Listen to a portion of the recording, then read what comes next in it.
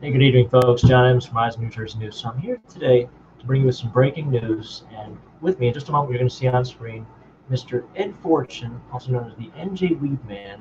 And he's facing a little dilemma right now. He's actually having an impersonator um, impersonating him online and conducting business with NJ Weedman's name. Let's bring on Ed and uh, hear from him firsthand what's going on. Hey, good evening, Ed. Thanks for joining us today. Yeah, how are you, man? Well, we're here at the Portland Airport. Very good. Thank you for joining the show. You ready? Sorry. Very good. Yes.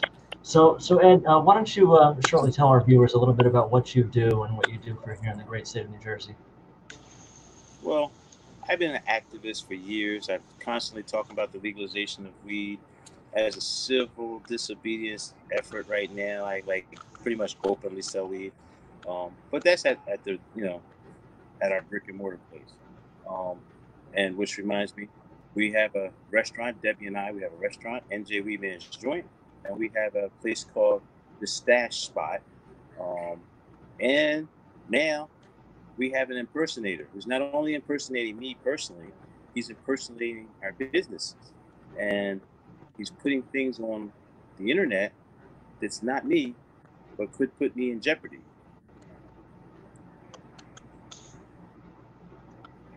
Well, thank you for sharing with us, Ed. Um, now, why don't you tell us why someone would want to impersonate you? Like, what would they come to achieve by doing such a thing? Well, over the years, uh, I've used my face kind of like a logo. um, I'm pretty branded. I've been uh, uh, advocating for marijuana for a long time, so a lot of potheads know me. A lot of potheads recognize me. So someone using my face could, trust you could have some type of advantages. And apparently, this guy's having a little success faking me. Yes, you did mention online that the gentleman in question was actually turning a profit by using your name and operating under your image. Yes, we know of at least $2,000 worth of scams that he's pulled off. There's probably others out there that we don't know anything about. Um, I even got a couple inboxes from people in Europe thinking I had sent them something and they were waiting.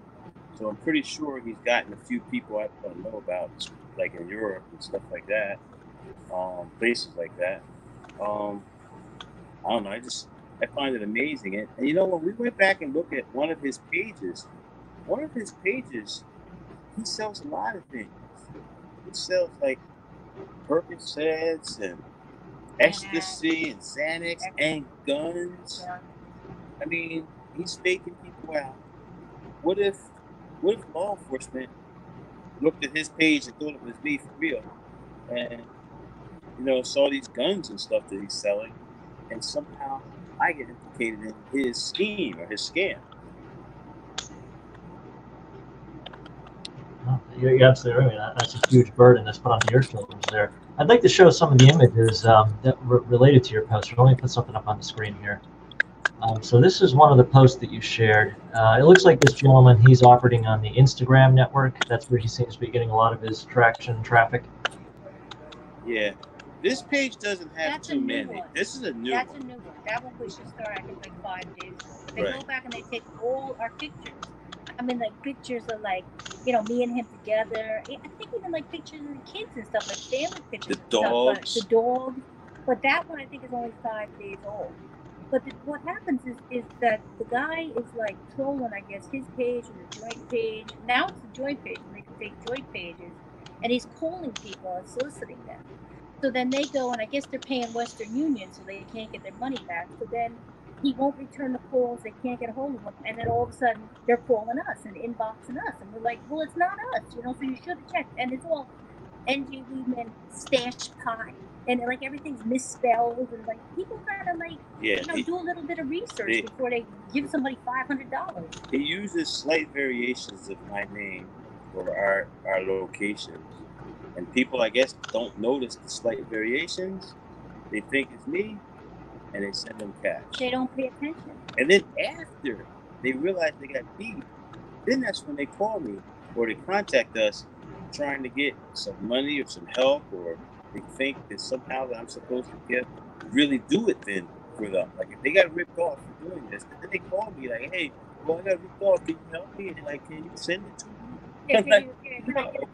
No, like, And then they keep telling me, "Look what I'm doing. we don't send anything. We don't ship anything. We don't send anything. I told this woman what five times. Well, then what? I said you got ripped off. Was a scam. Well, then can I order through your website? I said how many times am I to tell you? We don't do that. We don't do. it. We don't do it. But it doesn't matter how many times you say it, because I think he she was trying to get uh, an ounce for seventy five dollars. So she goes, she was getting a great deal. Well, we got ripped off. Uh, it's got nothing to do with me or Yeah. us. I mean, like we feel bad, but like you know, it, it, it's constant now.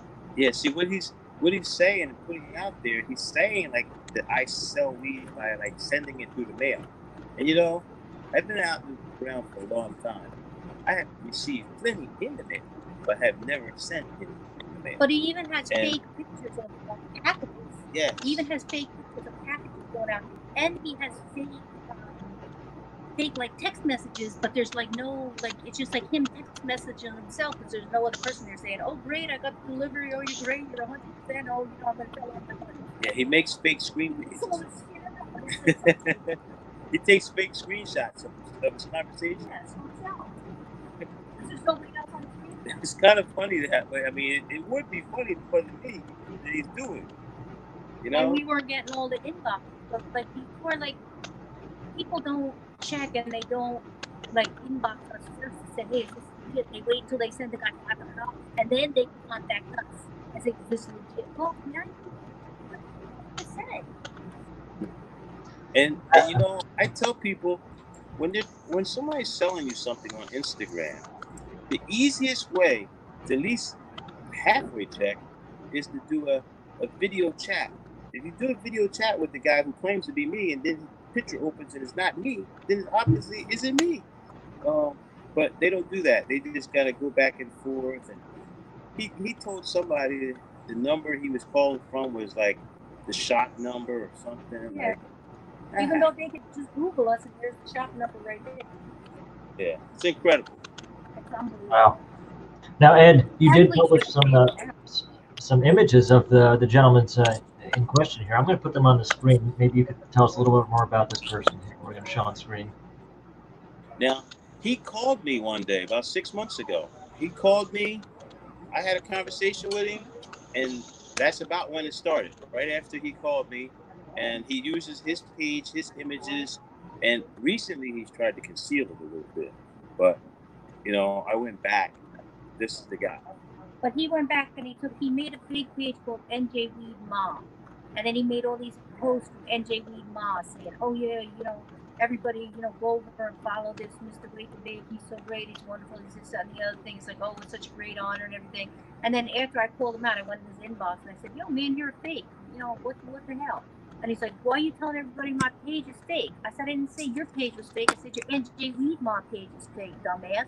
And then he took all the comments down from NJ Weed Weedma. So even the video he made isn't on there anymore. But then he made another video. He made another thing, which is new space Jersey, all spelled out. Weed Man, all spelled out. So if you go like there's a whole bunch of different ones. He And he's different. making a lot of money. Like I said, in the last month he made two thousand dollars. I he knows more. So he's probably close to like three, four grand. And people that don't contact him. But you know what, if you're gonna like I said, I mean We got all these people out there thinking that, that somehow I ripped them off. I didn't send them the things that they're ordering from this guy. Oh yeah, somebody actually tagged us in a post and said that he inboxed this woman said that he inboxed her and said he was gonna sell her weed and all this and don't trust them and this is that and the other. I said it's not us, it's not us. But I was blocked. You replied to her. Yeah, yeah. She had me blocked. But it's not us. And, you know, you're not getting an ounce for seventy five dollars. Now you don't have seventy dollars you don't have an ounce. Yeah. There's great deals. now you know, really great deal. And he actually has like he slashes his prices and free shipping, and like it comes up like a legitimate like I mean like if he put his mind to like good, he'd probably get a, a cure or a vaccine for coronavirus. But it's crazy Wow. now. It's out of control. It's really out of control now. Yeah, we're we're actually on vacation. And this morning I had to field a whole bunch of calls from people thinking that they got ripped off by me. So that's what made me post that post. We're at the airport now. Matter of fact, I'm looking over at our gate, and our plane is boarding. So we're gonna have to cut this one short. But uh, But Yeah, we went man. back and forth with some lady too because she got ripped off too, going back and forth. And then she kept asking, well, how do I order? How do I order? Lady, how many times did I tell you? We don't do that. We don't do it. We don't do it. but but maybe people see your see your show and know about this. Don't send any money to Weedman's fake imposter. and Mr. and and real Mr. Wake and Bake, yo, you're a fake. You made the page. I'm pulling you out now. So and I called you out before, but he blocked me and everything. But I got enough fake accounts. I can still get to it. Hmm. Wow. Yes. But he made a lot of money. He made a lot of money. Well, well, thank you so much for your time, folks, for joining us this evening and sharing with us your, your ordeal. It's really a shame. Great. Thank you. Have a safe trip, all right? Yep. We're getting ready to hop on this plane. Catch you later, man. Peace. All right, folks, so you heard it from Ed Forchion himself. He and his family are going through this ordeal. They're, they're attempting to have a family vacation, and they're getting bombarded with angry customers due to the actions of an imposter. Truly a shame. So that's our show for tonight, folks. If you want to follow our efforts, be sure to check out at EyesOnNJ on all social media channels, and of course, visit eyesonnj.org. For Eisen and News, I'm Have yourself a great night.